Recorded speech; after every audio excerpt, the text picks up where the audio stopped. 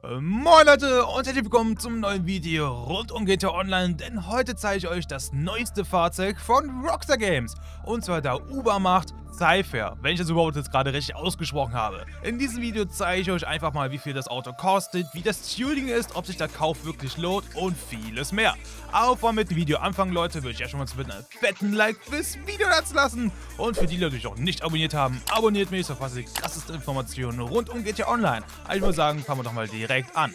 Wo könnt ihr dieses schnieke Fahrzeug denn kaufen? Das Fahrzeug findet ihr auf Legendary Motorsport und der reguläre Preis ist 1.550.000 GTA-Dollars.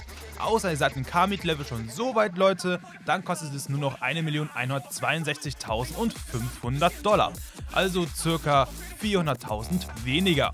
Gut, dann gucken wir auch einfach mal aufs Tuning. Also Leute, das Tuning hat mich tatsächlich sehr, sehr begeistert. Das kann ich schon sofort sagen, denn das Auto hat viele Tuning-Teile und viele Tuning-Möglichkeiten.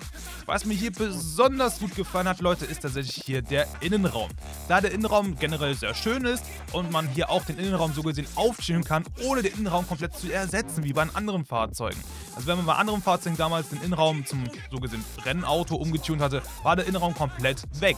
Hier ist das nicht so. Hier sind die Instrumente in den originalen Innenraum eingebaut und das finde ich persönlich sehr, sehr cool.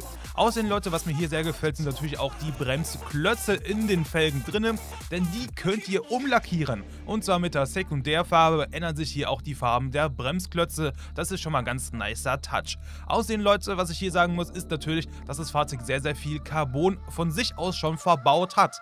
Was persönlich mir, ja, ist okay, passt zum Auto, aber ich habe lieber Autos, die man komplett als lackiertes Auto hinstellen kann und nicht zur Hälfte Carbon. Aber gut, Leute, es ist ja hier ein Rennauto und Carbon gehört ja auch irgendwie dazu. Aber gut, Leute, was lässt sich denn hier jetzt sonst noch sagen über das Auto? Naja, das Auto gefällt mir optisch tatsächlich sehr. Was mir hier auch ein bisschen gefehlt hat, sind tatsächlich mehr Spoiler, da die Spoiler-Auswahl relativ gering ist, wie ich persönlich finde. Aber ist ja auch eine reine Geschmackssache. Aber was mir trotzdem hier sehr, sehr gut gefällt, ist ja auch hier die Front. Da man hier tatsächlich an der Front sehr, sehr viel umtunen kann, beziehungsweise die Teile austauschen kann zu lackierten oder Carbon-Teilen. Also ihr könnt das Auto sehr, sehr krass carbonlastig machen, wenn ihr das möchtet. Aber Leute, die Fragen da fragen, wie sieht das Auto denn gemercht aus mit Formel 1 Felgen? Und tada, das Auto habe ich natürlich schon gemercht bzw. gemoddet.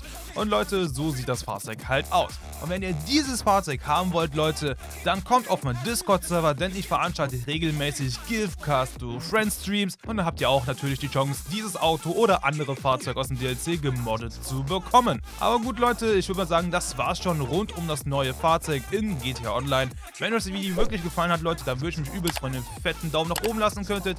Aber ich bin mal raus, Leute. Euer Wommat. Ciao.